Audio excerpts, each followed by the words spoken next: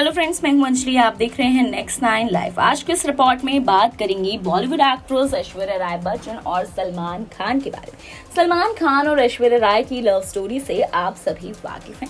लेकिन क्या आप जानते हैं इनकी लव स्टोरी को लेकर काफ़ी कॉन्ट्रोवर्सीज भी हुई थी। ऐसा कहा जाता था ऐश्वर्या राय ने सलमान खान पर कई तरह के इल्ज़ाम लगाए थे कि वो उन पर हाथ उठाते हैं। लेकिन अब यहाँ पर ऐश्वर्या राय और सलमान खान को लेकर एक बड़ी बात सामने आ रही है।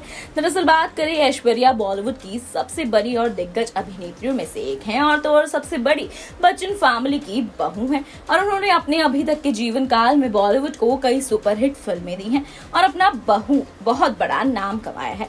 ऐश्वर्या राय बॉलीवुड में पिछले काफ़ी लंबे समय से है और अपनी पूरी फ़िल्म में बहुत नाम, इज़्ज़त और शोहरत कमाई है, जिसके चलते आज के समय में उनके पास किसी भी चीज़ की कोई कमी नहीं है।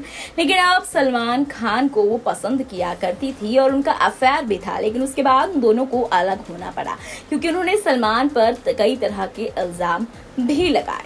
वहीं पर बात करते चले यहाँ पर सलमान खान से एक ऐसी चीज़ मांगती नज़र आई, ऐश्वर्या राय बच्चन, जिसके बाद सलमान अपना आपा खो बैठे और उन्होंने ऐश्वर्या राय पर इस कदर गुस्सा किया कि उसके बाद वो दोनों एक दूसरे से अलग तक हो गए। जी हाँ बताते चले यहाँ पर कि ऐश्वर्या राय ने युवा सेना के कुछ ऐसा मांगे तो देखकर जल्दी तुरंत ही सलमान खान गुस्से से लाल हो गए और उन्होंने ऐश्वर्या से अलग होने का मन बना लिया था और अलग भी हो गए। ऐश्वर्या ने सलमान से मांगा कि शादी के बाद तुम अपने परिवार के साथ नहीं रहोगे और अपने भाइयों के साथ भी कोई काम नहीं करोगे।